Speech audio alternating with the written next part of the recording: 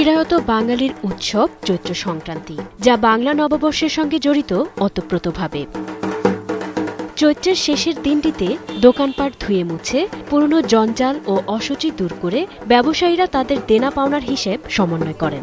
বাংলা বছরের প্রথম দিনে খোলেন নতুন খাতা। এ উপলক্ষে থাকে মিষ্টি মুখ সহ নানা আয়োজন। সময়ের সাথে সাথে পরিবর্তন হয়ে যায় সেরকম, একটু ভিন্ন রকম হয়েছে আর কি। বরঞ্চ সেটা আলোড়নটা আরও বেড়েছে। পরবর্তী বছর আবার যেন আমরা নতুন করে আবার ফুল ফেজে আবার শুরু করতে পারি এটাই হচ্ছে কি হালখাতার মূল বিষয়। পূর্বে যা করে আসছি ওইটি আমরা এখনও করতেছি। পূর্বপুরুষ থেকে চলে আসা এই রীতি আজও মেনে চলছেন ব্যবসায়ীরা। তবে ব্যবসা ক্ষেত্রে আধুনিকায়ন হওয়ায় হালখাতা রীতিতেও পরিবর্তন এসেছে বলে মত অনেকের। আগে যা হতো হিসাব তো ওখানে অন্য মতো হয়ে গেছে। নতুন বছরটা আরও ভালো যাক ব্যবসা বাণিজ্যের আরও উন্নতি হোক। বাণিজ্যিক প্রসার লাভ করুক এটাই আমাদের সবচেয়ে বড় প্রত্যাশা।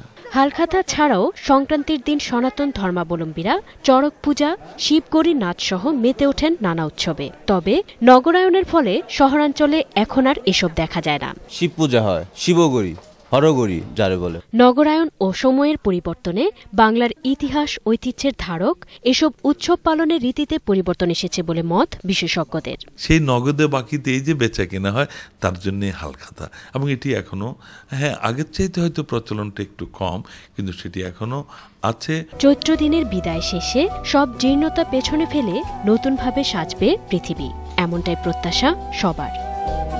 স্মৃতিমণ্ডল একুশে টেলিভিশন ঢাকা।